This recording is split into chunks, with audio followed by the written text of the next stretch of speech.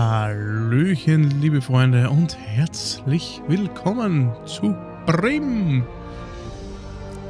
Wunderschön. ja, was ist Brim? Brim ist ein Point-and-Click-Adventure-Game, wo es um den Tod geht und seine Tochter offenbar. Ich kann euch gar nicht so viel dazu sagen tatsächlich, weil ich habe das Spiel erst vor kurzem auf Steam entdeckt man, bevor es, es ist erst auch heute erschienen am 24.10. Ich habe es aber vor zwei, drei Tagen ich gesehen und fand den Style schon wieder mal geil, plus deutsche Sprachausgabe, alles drum und dran. Und dann habe ich ja gesehen, dass es ja von ähm, den Entwicklern ist, die Unforeseen Incidents gemacht haben und und und, also äh, Luna and the Shadow Dust, oder wie es heißt, also die machen geile Games. Und die haben mir, ich habe nämlich wirklich überlegt, mir das Spiel zu kaufen und habe mir gedacht, ah, ich bin noch an Drober dran, ne, der, der meinen Kanal verfolgt, die wissen es. Und haben gedacht, ah, jetzt wieder was Neues anfangen, wenn ich mit einem anderen noch nicht fertig bin, ist auch blöd. Und haben mir gedacht, ich kaufe es mir dann, wenn ich jetzt noch demnächst Urlaub habe, spiele mal das andere fertig. Und was passiert? Habe eine E-Mail im Postfach und das Spiel wurde mir zugesendet. Darum, herzlich lieben Dank dafür. Freue ich mich wirklich sehr darüber. Na, ihr bringt mir wieder da eine Petrouille. Eine zeitliche. Aber das nehmen wir gerne in Kauf und werde jetzt einmal ein paar Folgen machen. Ich hoffe, dass ich es schaffe, dass jeden Tag was kommt. Ähm, die heutige Folge wird später am Abend erscheinen. Und dann sollte es täglich um ab 14 Uhr, denke ich, erscheinen, weil jetzt ist ja Visions of Mana vorbei. Und da habe ich dann hier genau dort ein Plätzchen wieder frei, weil heute erscheint die letzte Folge. Das heißt, heute gibt es sogar vier Let's Plays auf dem Kanal. Und dann ist ab morgen ab 14 Uhr ein Platz frei für Prim. Und das ist nicht schlimm. also gut, Freunde, dann lange Rede, kurzer Sinn, gar keinen Sinn, alles Sinn, völlig egal. Wir starten einfach mal ein neues Spiel und schauen wir mal rein. Ich bin echt gespannt, wie es so ist.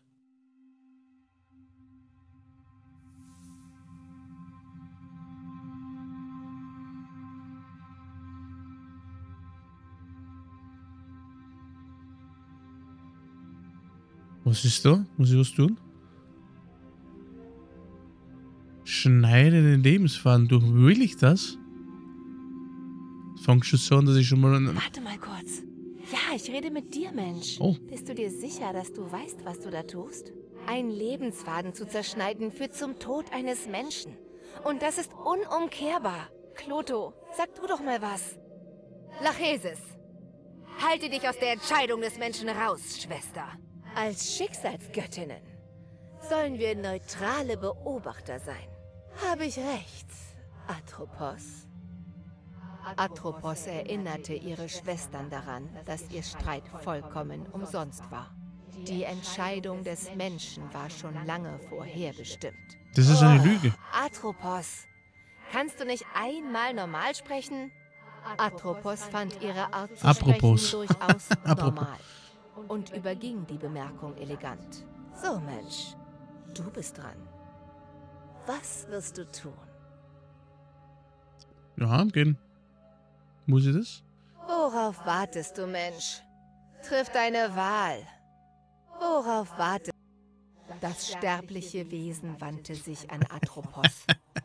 Geil. auf eine ich mag's jetzt schon. für das moralische Dilemma, in dem es sich befand. Das sterbliche Denk daran, Sonnenschein. Du musst das nicht tun. Aber dann ist das Let's Play ja hier Denk schon daran, vorbei. Sonnenschein. Du musst das nicht tun. Und dann gibt es keine Aufrufe, keine Klickszahlen. Und dann werde ich nie Millionär. Ich muss. Zack. Ende aus. Diesen Teil der Geschichte nicht. Schnipp, schnapp. Ich auch nicht, um ehrlich zu sein. Und trotzdem musste er erzählt werden.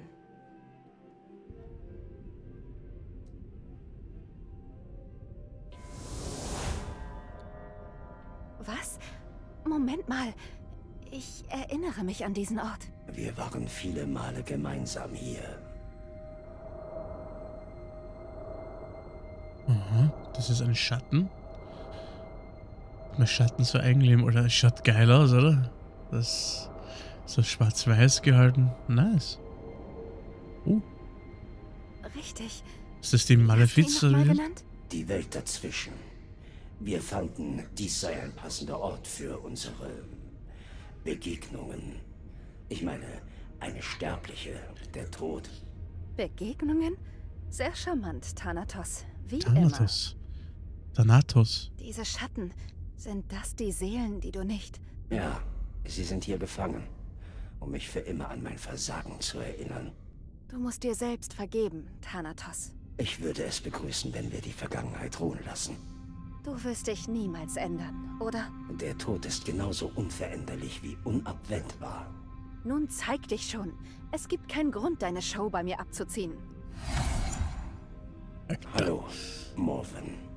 Hallo.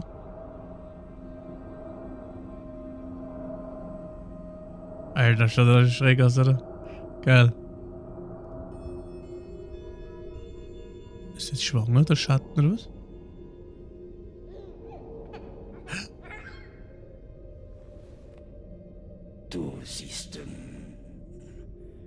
Tot aus? Ich äh, fürchte ja.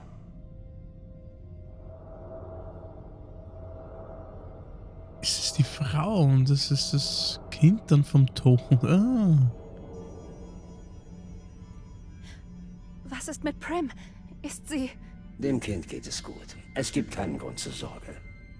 Nein, es geht ihr nicht gut. Sie braucht jemanden, der ihr zur Seite steht. Gerade jetzt. Erinnere dich an die Verheißung der Schicksalsgöttinnen, als sie geboren wurde. Eine Macht über Leben und Tod würde in ihr erwachen, sobald sie... Sobald sie 16 Jahre alt wird, ich weiß. Vergessen liegt nicht in meiner Natur. Pass mal auf. Bis jetzt war es ja in Ordnung, dass du dich fein aus allem rausgehalten und dein Ding durchgezogen hast. Wir sind sehr gut ohne dich zurechtgekommen. Okay. Aber jetzt, jetzt ist das anders. Sie braucht Hilfe. Nun, ich hörte, die Waisenhäuser heutzutage seien besser als ihr Ruf. Ist das alles nur ein kosmischer Witz für dich? Sie ist auch deine Tochter. Wie soll ich mich um mein Kind kümmern? Du weißt, wer ich bin. Aber eigentlich Holden, für das hat er Zeit gehabt. Verpflichtungen hast. Aber deine Tochter ist jetzt eine von ihnen. Sie braucht dich. Ich brauche dich. Also wirst du einen Weg finden müssen, wie du für sie da sein kannst. Versprich mir das. Ich, ähm... Versprich es mir. So sei es also. Ich verspreche es. Gut. Und sei nett zu ihr, hörst du? Ich werde es versuchen. Dann bin ich bereit, glaube ich, für das, was als nächstes kommt. Auf Wiedersehen, Morven. Gute Reise. Naja, ich hab schon gedacht, der haukt dir den Kopf ab, oder das war's gewesen. Hab ich gesehen.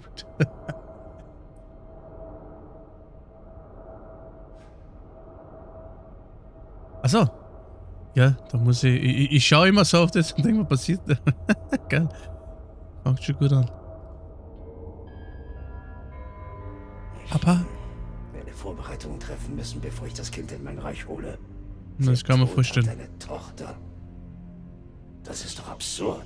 Ja, wie das funktioniert, gell? Denn ihm lebt ja nichts. Also wie kann da der Samen keimen? Brim! Jetzt wissen wir, wie die Tochter ist. Es geht um die Tochter. Alter, ich... In der Welt der oh. Lebenden hatte Prim nicht den blassesten Schimmer, dass Thanatos, der Gott des Todes, bereits auf dem Weg zu ihr war. Die Gedanken des Mädchens waren von einem Nebel aus Trauer umschlossen. War ihre geliebte Mutter Morven doch erst Wochen zuvor durch einen furchtbaren Unfall verschieden. Der Verlust einer geliebten Person bringt Menschen dazu, seltsame Dinge zu tun. In Prims Fall tat sie, was alle 15-Jährigen getan hätten. An verbotene Orte gehen. Ist das so? Ups. Der ist 15, aber sehr klein, oder? Kleinwüchsige. Moms Geheimversteck. Sie hätte mir nie erlaubt, hier raufzugehen. Prim, bist du sicher, dass das eine gute Idee ist? Da oben ist es ganz schön dunkel. Natürlich. Mach dir nicht wieder ins Hemd, Triss. Können wir nicht wenigstens warten, Triss, bis das Wetter besser ist? Das Gewitter macht alles doppelt so gruselig. Komm schon, du Feigling. Du hast es versprochen. Mach jetzt keinen Rückzieher. Muss ich wirklich? Tristan, bitte. Das ist wichtig für mich. Wenn ich durch Moms alte Sachen stöbere, dann fühle ich mich ihr irgendwie nah. Wenn auch nur für einen Moment. Na gut. Aber Ich bleib auf der Leiter. Wow. Der ist aber jetzt schon größer als wie. Was ist das alles? Als Prim. Keine Ahnung.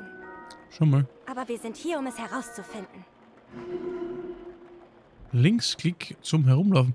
Ich muss ich finde das gerade, die können das echt gut. Die haben echt ein, ein, ein, ein Händchen für einen guten Style, sage ich mal, Artstyle. Das habe ich schon gesehen. Ich habe Unforeseen's Incidents gespielt. Das war auch richtig geil. Da habe ich das Let's Play noch auf der Festplatte. Das müsste ich mal hochladen. Das ist ein richtig geiles Game. Das habe ich noch retten können. Bevor ich da meinen Kanal und alles andere verloren habe, ziemlich. Ähm, habe ich schon vor langer Zeit aufgenommen. Das muss ich unbedingt mal hochladen. Und von den Machern kommt ja auch ein neues Game auch noch raus, das schon in der Mache ist. Also die haben echt ein ein Händchen für das. Also zumindest bei mir, mit meinem Geschmack treffen sie immer. Jetzt einmal abgesehen vom Story, vom Spielverlauf, alles drin, wobei Unforeseen Incidents hat eine sehr, sehr geile Story. Also ich kann es wirklich nur empfehlen. Uh, hier weiß ich es natürlich noch nicht, aber die, die treffen halt immer bei mir den richtigen Hebel. Und das schon nur mit dem Style. Und das ist halt richtig cool. Und jetzt können wir mit links laufen. Und haben eine seltsame Puppe und haben Tristan Warum kommst du nicht hier rauf und hilfst mir? Nein, danke. Echt jetzt? Was ist es diesmal? Deine Angst vor Dunkelheit oder vor engen Räumen? Beides, Beides. zusammen. Ja. Und vergiss die Spinnen nicht. Arachnophobie. So schlimm wie noch nie. Aber schau mal, sein Oberkörper gefüllt ist schon so groß wie sie. Also, was Ei? Bild? Fangen wir hm. beim Bild an. Ich frage mich, was da für ein Ort abgebildet ist. Normalerweise hat Mom keine Fotos von Gebäuden gemacht. Sie war mehr der Porträttyp. Das schaut aber aus wie so eine Kirche oder Schloss, ne? Kann man irgendwie das... Geht das weg da um, oder? Ah, jetzt dann. Hm, seltsam. Die Dielen machen hier ein anderes Geräusch. Das Wenn ist beim Boden bei uns zu Hause überall so. Und ihr solltet das wirklich mal reparieren lassen. Das macht mich echt wahnsinnig. Madame kann jederzeit in ein Hotel umziehen, wenn sie möchte. Haha. Ha. Du weißt, ich bin dir und deiner Familie super dankbar, dass ihr mich aufgenommen habt. Ehrlich. Obwohl mein Dad ununterbrochen seine seltsamen Kunststücke übt? Der Mann ist so peinlich. Hm.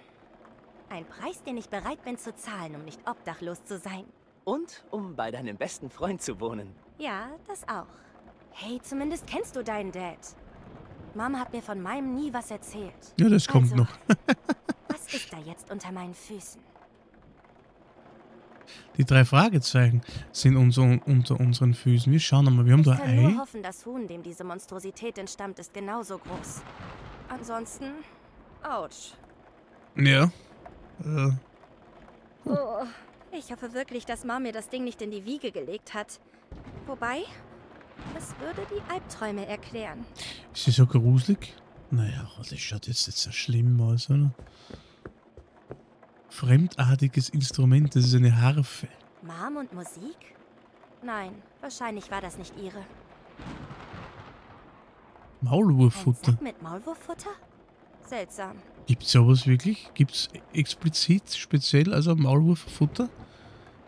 Ich weiß es nicht. Wirklich nicht. Ich hätte es so noch nie gesehen. Ich weiß es, aber für Igel gibt's, das weiß ich. Aber für Maulwurf?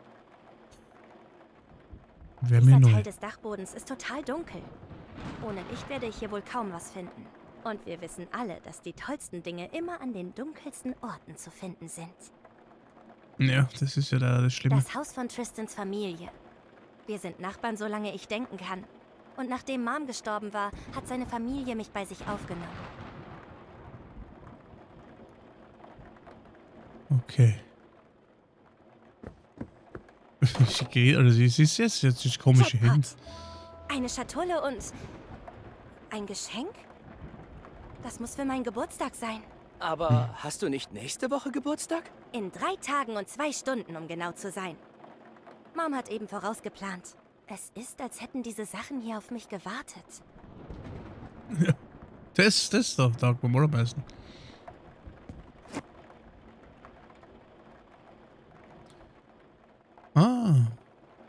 Aufwärts oder I. Tagebuch haben wir schon.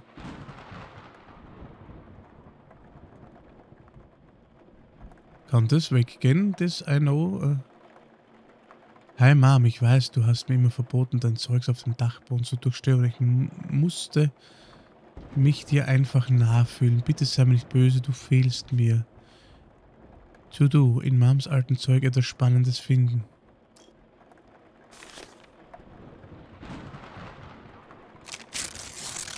Moms Kamera! Yay! Sie hat ihr alles bedeutet. Und sie wollte, dass ich sie bekomme. So alte Polaroid-Kamera. Können wir damit in der Dun oh, das ist ein Blitz, dann können wir in der Ding dunklen Ecke. Moms geliebte Polaroid-Kamera. Sie hat das stärkste Blitzlicht, das ich kenne. Machen wir mal die Schatulle auf, ne? Hm. Was für eine seltsame ich schon sagen, die kommt nicht ran. Dafür, dass sie so klein ist, ist sie ziemlich schwer. Ich kann sie nicht anheben. Aber vielleicht kriege ich sie ja auf. Aha. Das erstes Rätsel. Und ich sehe kein Schlüsselloch. Nur eine Einkerbung in der Form eines Totenschädels. Es muss einen Weg geben, sie aufzukriegen. Und ich bin mir sicher, Mom hat hier irgendwo was versteckt.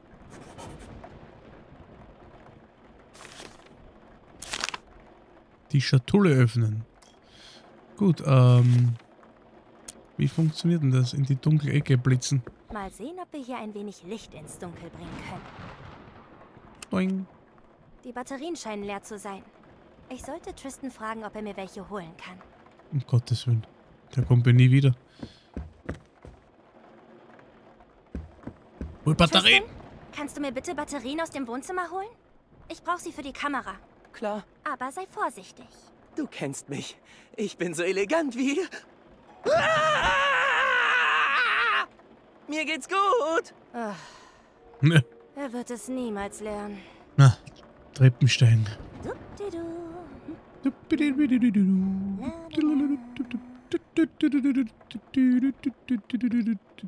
Hallo. Hier, die Batterien. Und ein Keks. Geil. Danke.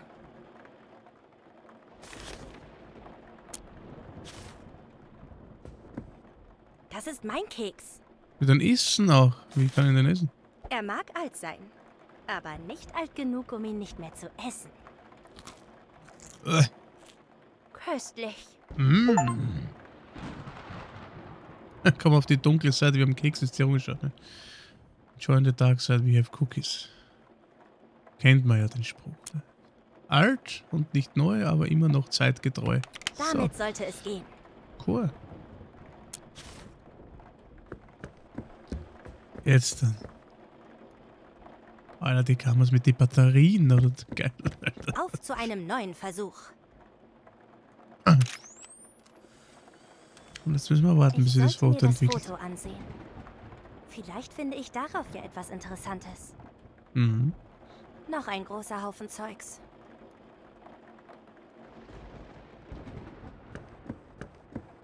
Gehen wir mal ein bisschen ins Licht. So sieht's da also aus. Noch mehr Kisten. Ah, Wow. Aber Moment mal. Was glänzt da so? Ein Daudenschädel. das Blitzlicht reflektiert haben muss. Bestimmt kann ich es jetzt in der Dunkelheit finden. echt? Ja gut, dann wissen wir jetzt sozusagen, wo der Totenkopf ist. Ja, ja, haben wir schon. Dann müssen wir jetzt dann das im Dunkeln so finden. Schimmerndes Etwas, da hängt sie schon, man erkennt sie gut. Zack. Eine Halskette. Sie muss Mom gehört haben. Ich hätte nicht gedacht, dass ihr Geschmack so schräg war. Naja, es ist nur Totenkopfkette. Du, es ist jetzt tatsächlich nichts, was ich nicht auch besitzen würde. Bin ich jetzt deswegen auch schräg, du Balk? Naja. Gut. Aber ich verstehe schon, was sie meint. Man rechnet nie damit mit so. Es ist Lebenszeichen. Freut mich. Der kleine Schädelanhänger passt genau in die Vertiefung der Schatulle. Mal sehen, was da drin ist. Dein Vater? Was? Was war das? Okay, das wird mir langsam zu schräg hier oben. Prim, können wir jetzt gehen? Bitte. Weißt du was? Geh du doch schon mal vor. Ich brauche sowieso einen Moment für mich. In Ordnung? Bist du sicher? Ja. Aber lass mir noch Kekse übrig. Da musst du dich schon beeilen. Tschüssi. Man sagt, die Zeit heilt alle Wunden. Doch mit der Trauer ist es nicht so leicht. Der Schmerz verbleibt oft wie ein lästiges Stechen, das sich weigert, ganz zu verschwinden. Oder er wandelt sich, ändert die Form und wird zu einer Last, die leichter zu tragen ist. Ein Freund, der Trost spendet. Ein weiches Bett oder ein Teller mit Keksen können den Unterschied machen. Denn sind wir mal ehrlich, Kekse machen alles besser. So ist es. Polaroids. Welch eine Überraschung. Mom hatte ihre Kamera überall dabei. Und ratet mal, wer ihr Lieblingsmotiv war. Der Markus, ich. Da ist sie. Achso. Ja. Meine Mutter Morven. Oh, sie haben die gleiche Nase. War sie nicht schön? Oh. Naja, gut. Das, das war nach Tristans seltsamer Besessenheit davon, Seiltänzer werden zu wollen. Ging nicht gut für ihn aus, was niemanden überrascht hat. Er ist wirklich ein Hornochse. Aber er ist mein Hornochse. Mhm, was wie groß ist. Zur Hölle? Wer ist das? Okay. Was schimmert da hinter diesen Kisten? Ich weiß nicht, sollte man dort hin? Schaut aus, mir ein offenes Feuerchen. Das ist nicht so toll in einem Gebäude.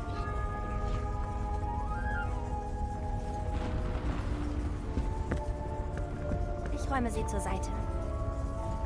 Oh. Boah. Das ein Weg in eine andere Dimension. Na, holen Tristan. Neugierig und nicht ganz ohne Angst näherte sich Prim dem Kreis aus Licht, der sich vor ihr gebildet hatte.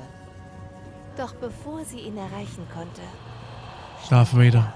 aus dem Portal trat ein Skelett in schwarzer Kutte. Augen so schwarz wie die Nacht.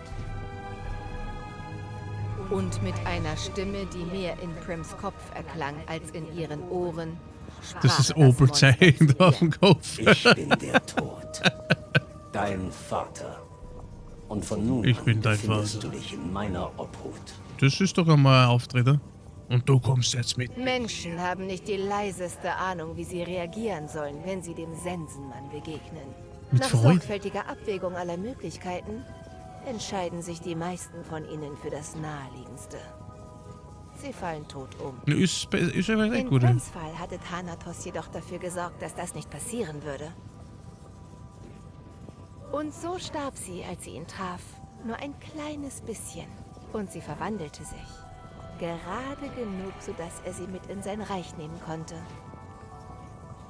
Ich glaube nicht, dass die Mutter sie gedacht hat, dass das passieren Und soll. als ihr lange verschollener Vater sie durch das Portal trug, ließ Prim ein ganzes Leben zurück.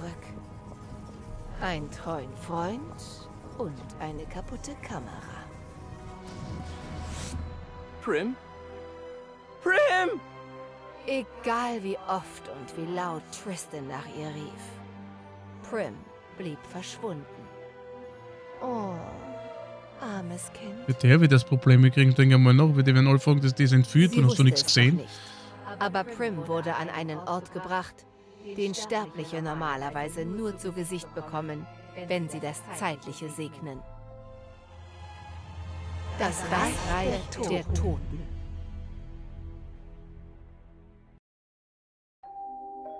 Teil 1. Eine Berührung zu viel. Hm. Das Reich der Toten. Drei Tage und zwei Stunden später. Nehmen wir hin. Zwei Stunden sind wichtig. Alles Gute zum Geburtstag, Prim. Kann ich eintreten? Als ob du es lassen würdest, wenn ich Nein sage. Komme ich ungelegen? Samuel. kamst ungelegen, als du mich gekidnet hast. Ja, aber so ist es. Du kamst ungelegen, als du mich gekidnappt hast. Wir haben das bereits besprochen. Unzählige Male. Ja, aber du hörst nicht zu.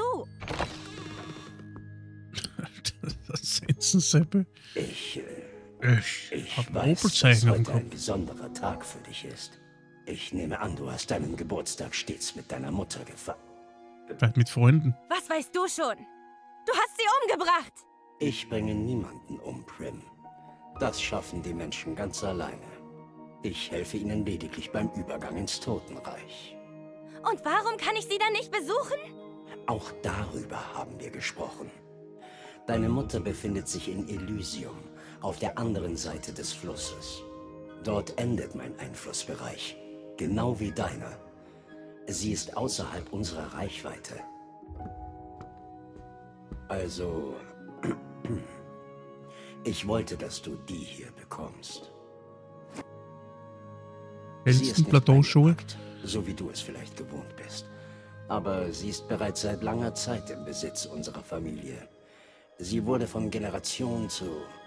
Was soll ich mit einem dämlichen Taschenmesser? Nun, zunächst ist es eine Sense und kein Messer. Mir egal. Den ganzen Tag warst du weg und platzt nun rein, um mir eine blöde Sense zu schenken, die so nutzlos ist wie der ganze andere Müll, von dem du willst, dass ich damit meine Zeit verschwende. Ich sehe, du bist gerade nicht in der Stimmung für eine Unterhaltung. Ich werde später wiederkommen. Ich muss ohnehin... Warte. Ja.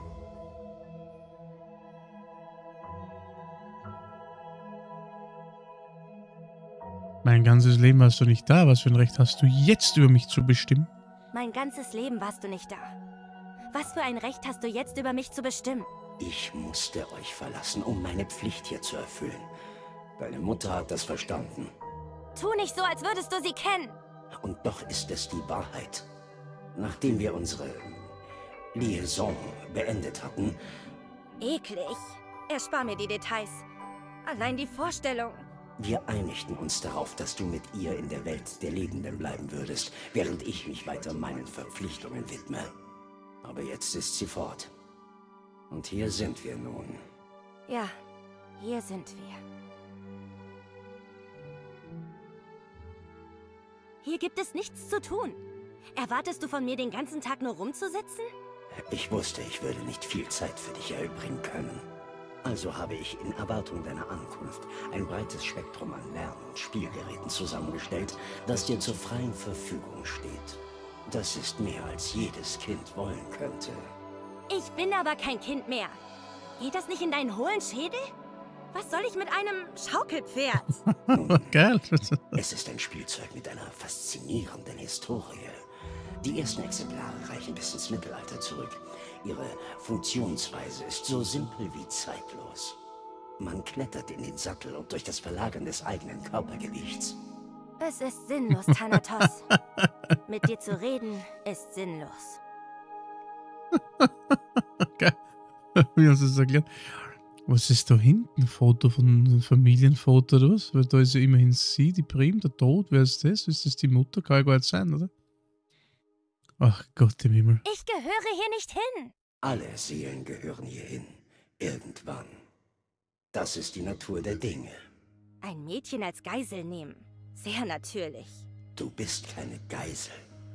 Ich bin dein Vater. Jetzt, da deine Mutter sich nicht mehr um dich kümmern kann, ist es zu meiner Aufgabe geworden. Und ich kann das nur in meinem Reich tun. Ich darf meine Arbeit nicht vernachlässigen. Aber Ist ja Workaholic, ne? Mein Entschluss steht fest. ich hatte ein Leben. Und du hast es mir gestohlen. Ich hatte einen Freund. Es gibt unzählige Geschöpfe in meinem Reich. Ich werde dir erlauben, sie kennenzulernen, so dass du neue Freunde finden kannst. Aber natürlich erst, wenn du mit deinen ohnehin zwecklosen Fluchtversuchen aufhörst. Da kannst du warten, bis du tot umfällst. Ah, ah. Sehr lustig. Kann ich Tristan wenigstens besuchen? Kann ich Tristan nicht wenigstens besuchen? Auf gar keinen Fall. Es ist zu gefährlich. Warum? Gefährlich? Ich kann auf mich aufpassen. Das meine ich nicht. Was meinst du dann? Möglicherweise hast du dich verändert. Meinst du die Haare? Das ist doch halb so wild. Nein, das ist es nicht. Hast du in letzter Zeit ähm, irgendwelche anderen Veränderungen an deinem Körper bemerkt? Worauf möchte er hinaus? Thanatos. Widerlich. Ich nehme an, das ist ein Nein. Das ist ein Kümmer dich gefälligst um deinen eigenen Kram. Alles, was du sagst, klingt nach faulen Ausreden. Du hast uns verlassen. Mein ganzes Leben hatte ich keinen Vater. Und das war manchmal ziemlich hart. Aber im Großen und Ganzen ging es mir gut. Denn ich hatte Mom. Weißt du, was noch schlimmer ist, als keinen Vater zu haben? Herauszufinden, dass man einen hat, der aber eine riesige Enttäuschung ist. Und du kannst deinen stinkenden schwarzen Bademantel darauf verwetten, dass ich einen Weg zurückfinde. Mit oder ohne deine Hilfe. No, no, no. Handelst mich gefälligst mit Respekt. Na, sonst gibt's ein paar Watsch. meinem Vater so gesprochen. Oh, war dein Papi gemein zu dir? Vielleicht bist du deshalb ja so ein Versager auf dem Gebiet. Genug! Uh. Ich habe mein Bestes versucht, nett zu ihr zu sein, Morven. So wie ich es versprochen habe. Und was hat uns das gebracht? Ich wusste es. Der Tod und ein Kind? Es ist eine lächerliche Idee, die von Anfang an zum Scheitern verurteilt war. Ich habe Wichtigeres zu tun.